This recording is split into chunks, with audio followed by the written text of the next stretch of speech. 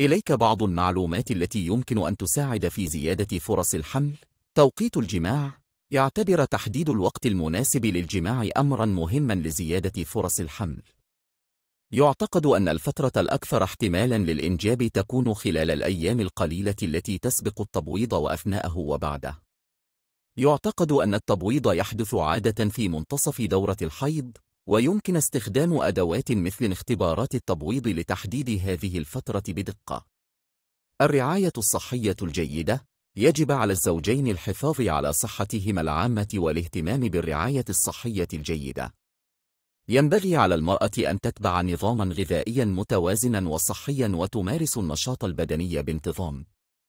من المهم أيضا أن يتجنب الزوجان التدخين وتناول الكحول والمخدرات حيث يمكن أن تؤثر هذه العوامل سلبا على فرص الحمل.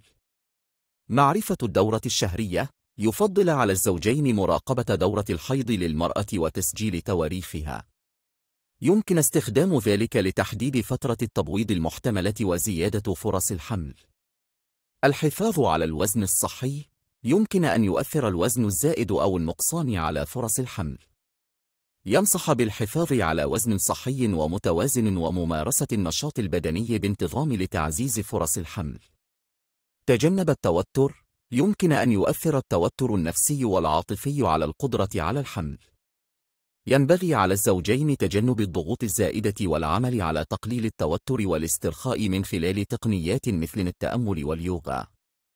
الاستشارة الطبية إذا كان الزوجان يحاولان الحمل لفترة طويلة دون نجاح، فمن المستحسن أن يستشير الطبيب. يمكن للأطباء تقديم المشورة وإجراء الفحوصات اللازمة لتحديد أي مشاكل صحية تحتاج إلى علاج.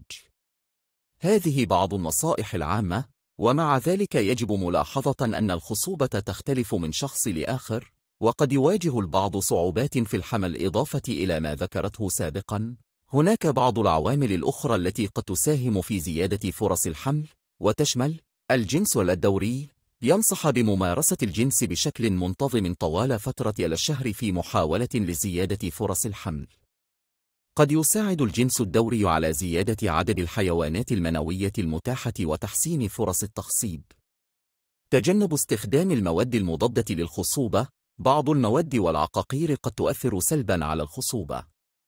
ينبغي على الزوجين تجنب استخدام المواد المضادة للخصوبة مثل بعض أنواع العقاقير والمنتجات الكيميائية التي قد تؤثر على الجهاز التناسلي. الاهتمام بصحة الرحم والمبايض قد تواجه بعض النساء مشاكل في صحة الرحم والمبايض مثل تكيس المبايض أو تشوهات في الرحم. في حالة وجود مشكلة معروفة في هذه المناطق، ينبغي استشارة الطبيب لمعرفة الخطوات العلاجية المناسبة. الاهتمام بصحة الرجل الخصوبة ليست مسؤولية النساء فقط، فصحة الرجل أيضا تلعب دورا هاما في الحمل. ين هناك بعض الأعراض التي قد تشير إلى وجود مشكلة في الخصوبة، ومن بين هذه الأعراض عدم حدوث الحمل، إذا كنت وشريكك تحاولان الحمل لفترة طويلة دون نجاح، فقد تعتبر هذه إشارة محتملة لوجود مشكلة في الخصوبة. اضطرابات الدورة الشهرية إذا كانت دورتك الشهرية غير منتظمة أو لا تحدث بانتظام، فقد تكون هناك مشكلة في التبويض أو في وظيفة المبايض. آلام الحوض أو العانة قد تعاني بعض النساء من آلام في منطقة الحوض أو العانة التي قد تشير إلى وجود مشكلة في الجهاز التناسلي. تغيرات في الإفرازات المهبلية إذا كنت تلاحظ تغيرات غير طبيعية في الإفرازات المهبلية مثل الكمية أو اللون أو الرائحة فقد تكون هناك مشكلة في الخصوبة.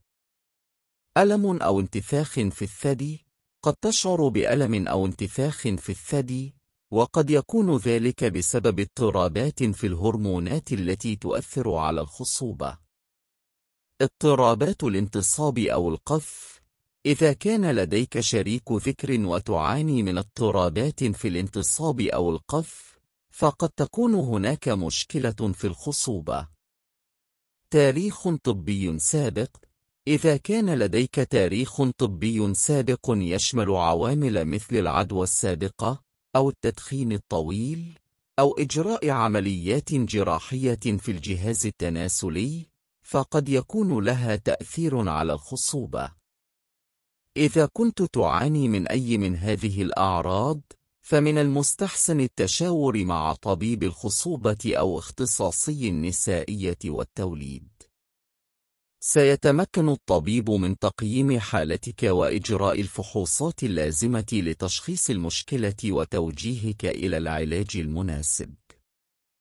بالطبع، هناك عدد من الفحوصات التي يمكن أن يقوم بها طبيب الخصوبة لتقييم حالتك وتشخيص أي مشكلة محتملة في الخصوبة.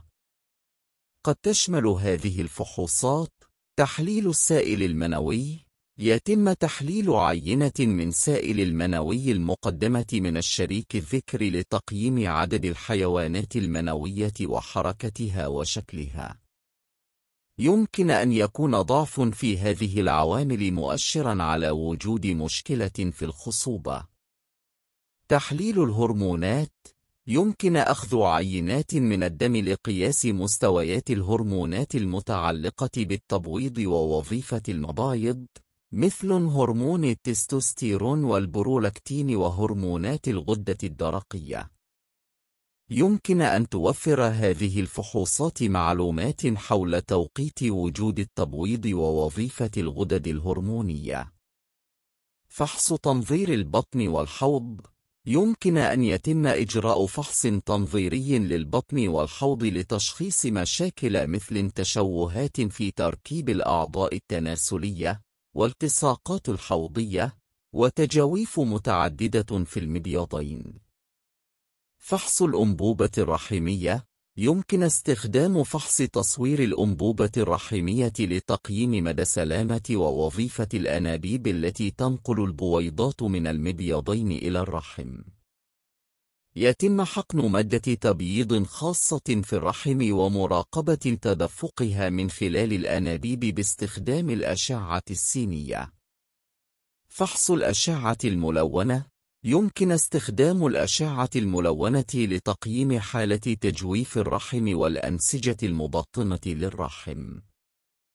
يتم إدخال جهاز صغير مضاء بالضوء من خلال المهبل والرحم للكشف عن أي تشوهات أو تجويف. هذه مجرد بعض الفحوصات الشائعة التي يمكن أن يستخدمها طبيب الخصوبة. يجب أن يتم تحديد الفحوص المناسبة وفقا لتاريخك الطبي والأعراض الموجودة وتوصيات الطبيب المعالج.